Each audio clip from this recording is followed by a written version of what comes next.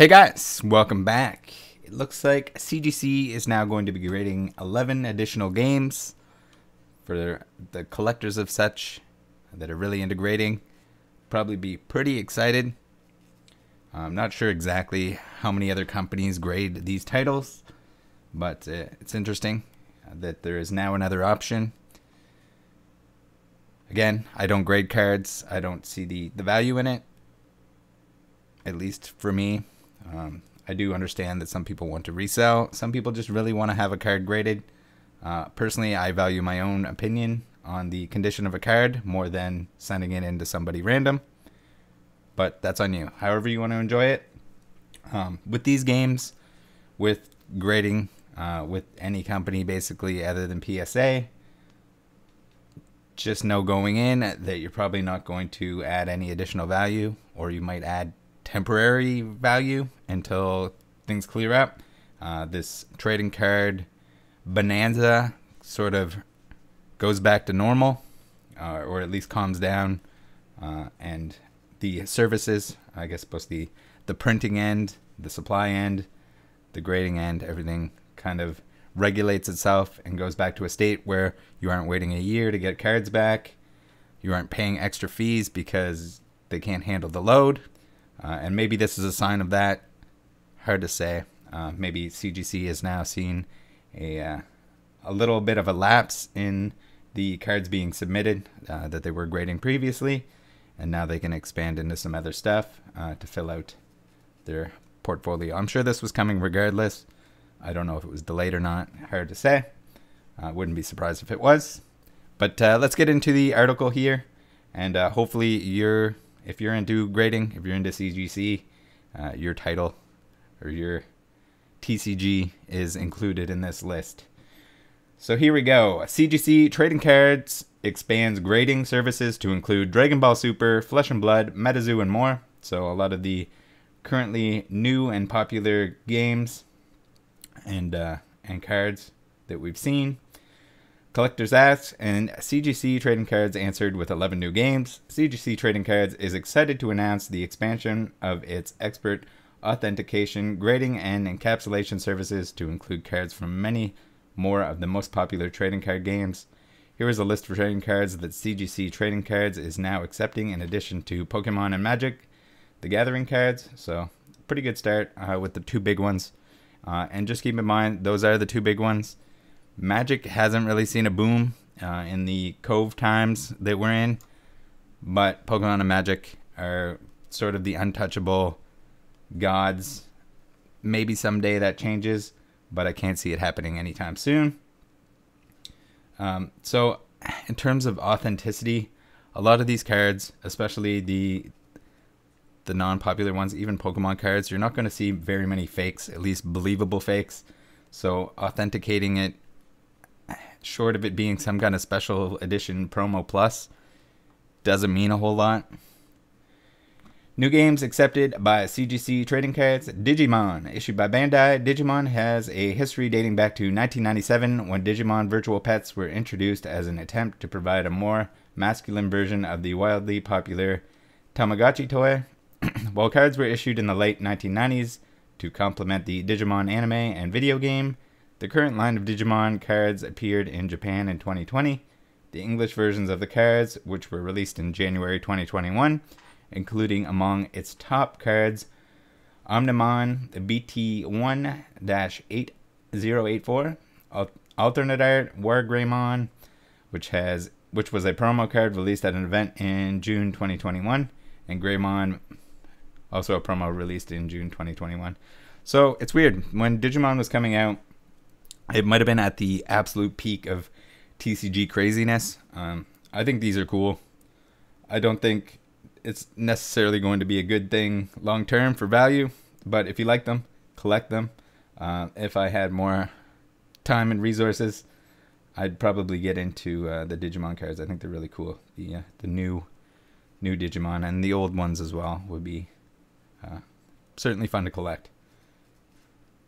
It's weird. I yeah, it's gone silent. I haven't heard or seen anything recently about Digimon, but uh, if that's your thing, by all means, go to town. Uh, there's a couple like Metabots cards that I have a collection. I, I would love to see a new Metabots come out, new Metabots TCG, and I would certainly buy them.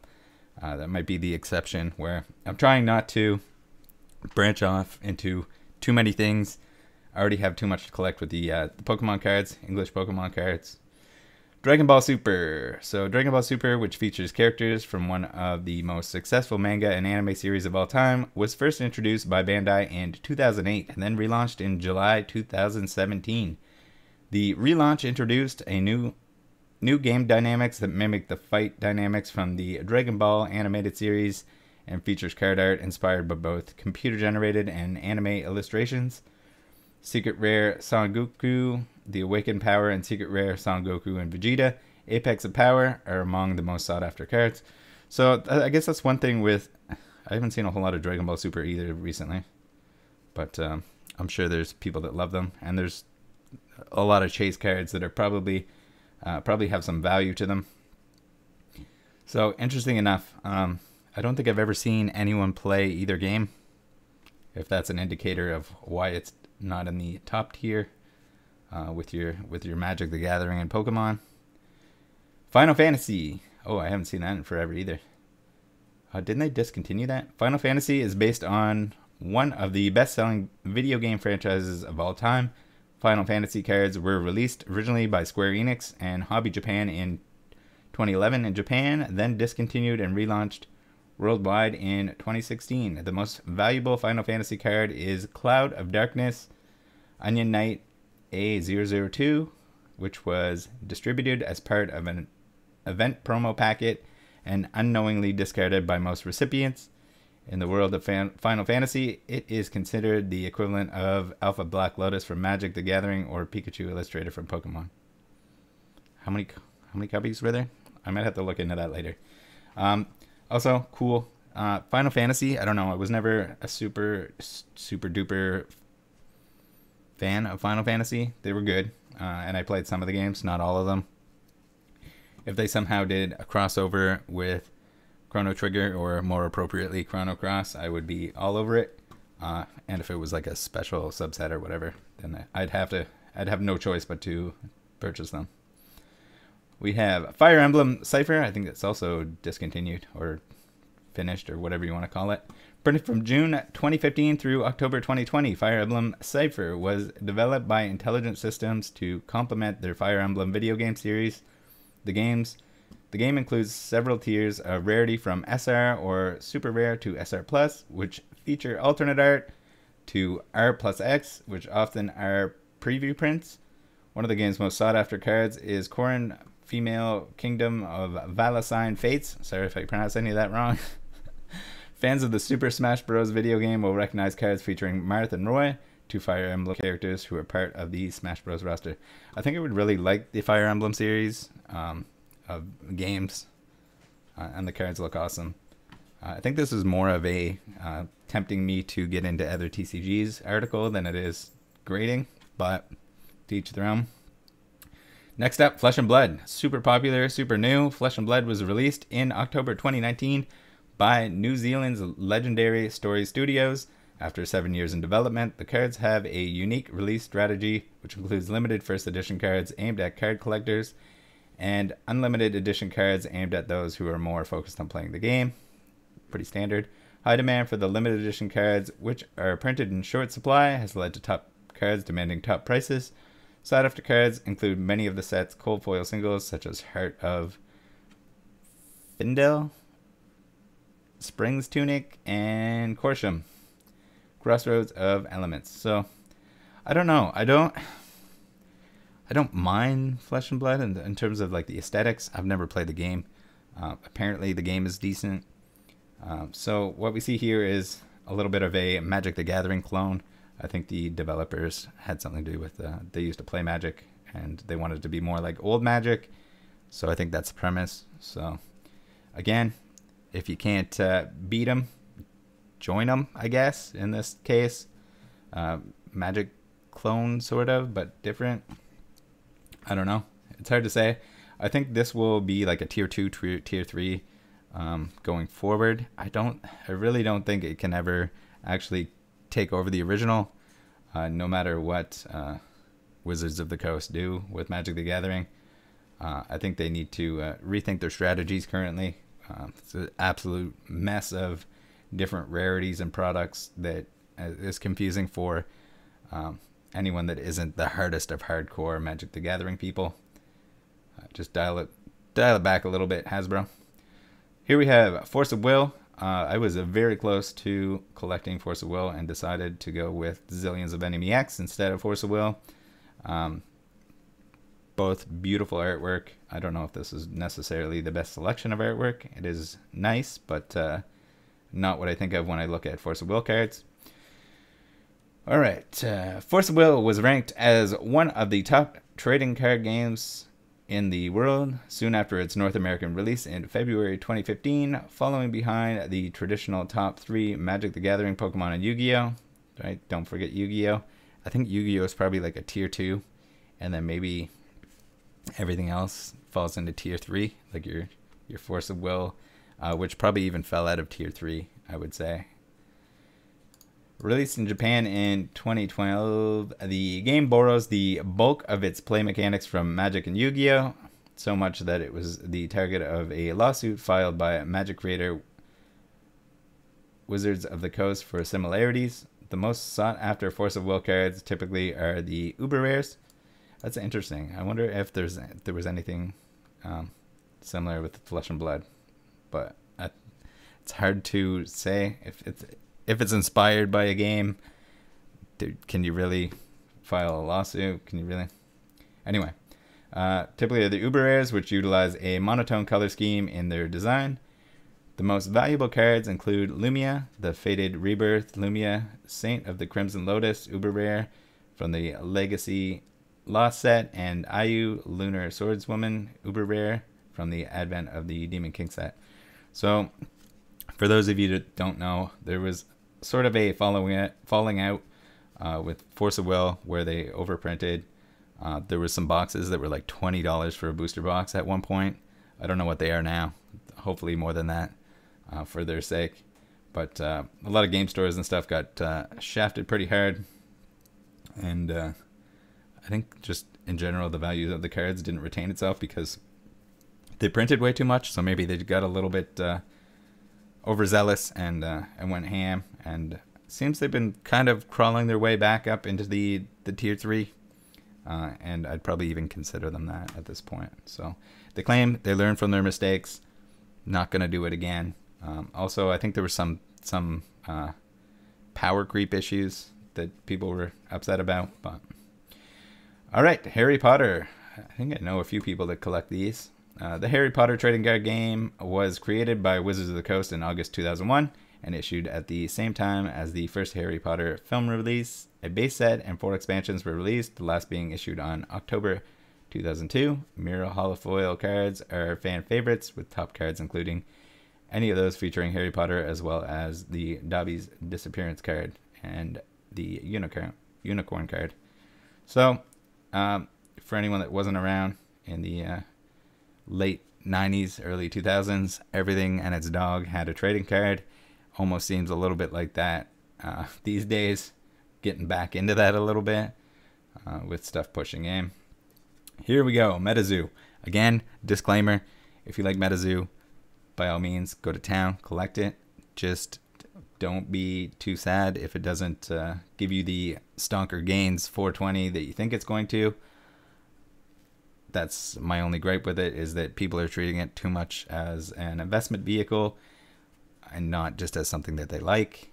Typically, when that happens, aka beanie babies or anything like that, if the if the premise of the item is that it's going to go up in price and not there's no actual interest outside of that or very little interest outside of that, then you run into a beanie baby scenario where you end up with a bunch of little animals filled with beans, and that's about it. So, launched in March 2021, MetaZoo claims the distinction of being the only collectible card game where your surrounding matters. Its unique gameplay breaks the fourth wall, allowing players' surroundings such as forests or bodies of water to empower special abilities on their cards. The central cards feature cryptids, which are animals like Bigfoot and the Jersey Devil that have been claimed to exist but whose actual existence have never been proven. Michael Waddell created the game and co founded it with the help of globally acclaimed DJ and pop culture enthusiast Steve Aoki.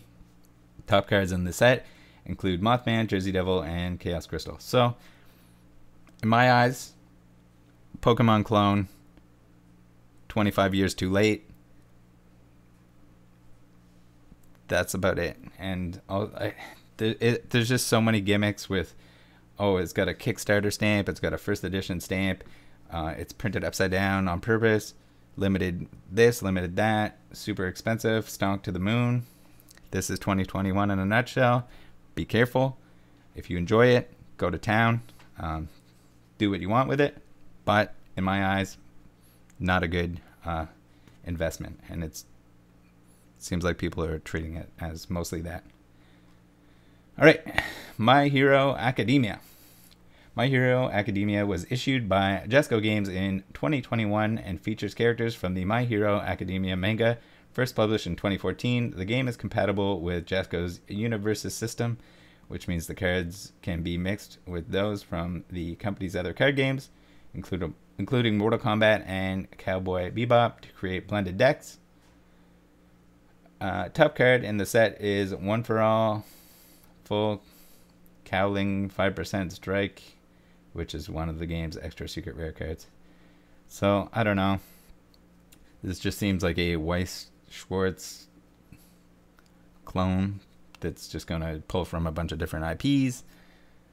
Maybe it works for them, maybe it doesn't for others. I don't know how I feel about that. Even crossover stuff is like, I feel like it needs to be at least relevant or like similar enough that it works. Uh, but I don't know. We'll see how uh, stuff like this goes. We have Weiss Schwarz, and I think this has been picking up steam. Uh, Bushiroad Inc. trading card game launched in 2007. Weiss Schwarz includes more than 10,000 unique cards that feature characters from Japanese pop culture, offering players the chance to relive climactic scenes from your favorite anime, manga, or video game titles. Once more on your stage, many of the cards feature characteristics from Bushiroad's title, including Bangji Dream, Girls Band Party. The game's top cards include the iconic signature card, Ephemeral Existence, Mei Sakurajimi Jima from Bunny Girl Senpai, and Birdcage Diva Yukina Minato from Bangji Dream. Girls Band Party Volume 1. I like anime, but um, some of this is above my skill level, my uh, my weeb level. Uh, I don't know. I don't know how I feel about just like pulling from a bunch of different IPs. Um, and I think a lot of people probably appreciate this more for the individual sets, maybe. Not sure how the game plays. Not sure if it's any good. Um, but there's some crazy chase stuff as well. So I don't know. Uh, not for me, but if that's uh, if that's your thing, or if you like the certain animes that they collab with, and you just want to get those, then by all means do that.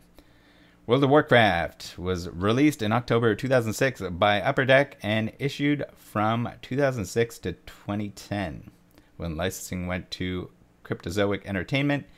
It was discontinued in 2013. The game is based on World of Warcraft online game, which is considered the greatest massive multiplayer online role-playing game of all time, with more than a million registered accounts. How many of those are the same people? Loot cards connect the game to the online game by providing players with a code that can be used to obtain special mounts for online avatars. The most sought after cards are the loot cards, with the top cards in that category being Spectral Tiger, Feldrake, and El Pollo Grande. So, pretty interesting. Um, I like the fact that you could pull something where you can like redeem it for in-game stuff.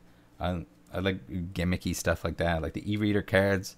Um, I wasn't into Pokemon at the time. Uh, I I barely even knew what the e-reader was, even though I was playing video games. Um, but very interesting stuff. Cool when there's that that interactability uh, with games, and video games and trading cards. Really wish they would do something with the, the amiibos for the Pokemon games inside the cards, like the amiibo cards, similar to like an Animal Crossing. I wouldn't be surprised if those get graded uh, eventually too, or are put on the list.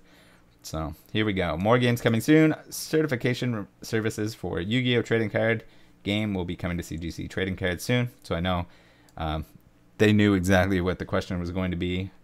Yu-Gi-Oh! Where is it? Being like a third place TCG, you would think that would be earlier on the list. Uh, so please stay tuned for an announcement related to that enhancement of service. A new holder size is required for Yu-Gi-Oh cards. Oh, that makes sense. And supply chain issues have delayed production for a new holder. CGC trading cards will also be grading Nostalgix cards when the game is released. No idea what that is, but I guess I'll have to look it up. Already being hyped for outstanding card artwork, Nostalgix is scheduled to have a Kickstarter. Oh, Jesus, not another Kickstarter TCG launch before the end of 2021. Lucky Frog is expected to be a chase card. Of course, it is. Game's not out yet. They're funding money for it, and there's already a chase card. All right, guys. Thanks for tuning in. Hopefully, that was insightful. Again, collect what you like, grade what you want. If you want to grade stuff, do it. Don't. This is just my opinion. Uh, it doesn't matter. I'm wrong sometimes. Uh, and however you enjoy the hobby, however you enjoy other hobbies, do it that way. Who cares what other people think? Have a good one.